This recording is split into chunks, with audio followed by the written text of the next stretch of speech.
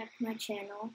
In this Sky Factory 4 video, it's episode 2 of the series, I'm joining you from the hot tub I built last time, which if you haven't seen the last episode, go check it out on this very beautiful day, and we're gonna keep making our Sky Factory.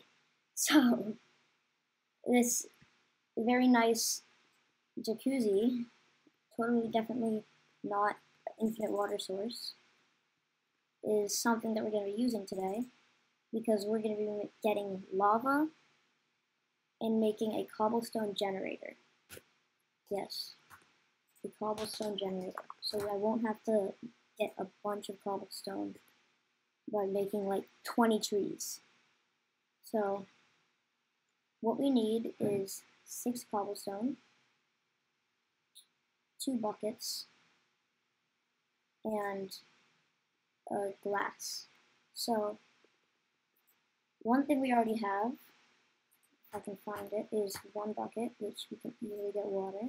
So that's already one thing done, but we need a bucket of lava. So to get lava, what we need to do is make a cauldron and put it above the torch. So I'm going to do that right, I don't need to put a slab on this, right here. So, I don't know if you can really see, but if we put cobblestone in this now, it will become lava. But to pick it up, I'm going to need another clay bucket, so just going to do that really quickly. Okay, so I got my second clay bucket. And now what I think we're going to do is get sand. Because for glass we need sand. So as all the other materials, we need a sapling for it. So a sand sapling can be made by petrified sapling with sand acorns around it.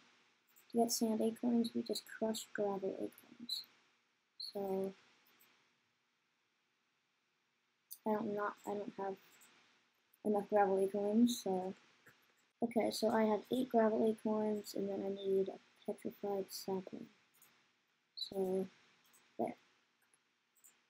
Now I crush them over here. There's water in here.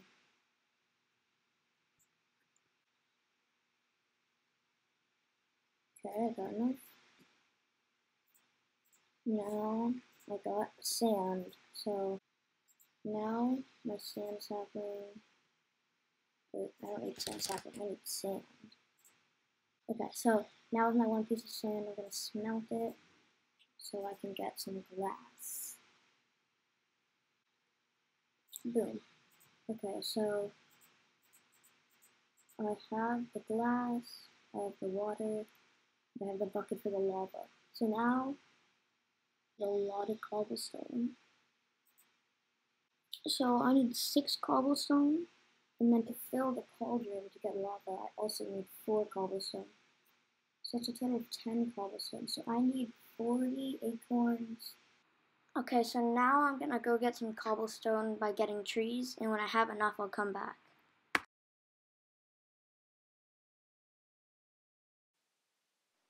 Okay, so I just crafted all the cobblestone I'm gonna need, and now I'm gonna go get some lava. To make lava, I have to put a cauldron over a torch and then put four cobblestone in it. So I just have to replace this because it has water in it right now. And then I'm to make some cobblestone. Or I'm sorry, I'm to use my cobblestone to make the lava. Oh, it's on fire. Shoot. Let me put that out. Let me just get the lava. And there we go. So now with the lava, I can craft the cobblestone generator. So with this, it'll generate cobblestone. Um, I don't know how fast it is because it's not very like expensive and it doesn't take any power. But from what I understand, it'll make it into a um, it'll put all of its cobblestone into an inventory next to it. So if I just leave that running when I'm like just doing episodes or just like doing stuff off camera, I think I'll end up with a lot of cobblestone. But I mean, let's see how much I get. So I'm gonna set it up Um, probably gonna set it up. Hmm. Probably set it up near the side over here. And then I think I'm gonna get like a chest to put above it.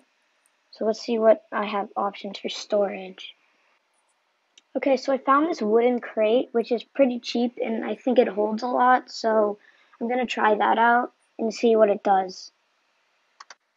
I think that if I place this above it will, yeah, okay, so it started putting cobblestone in it.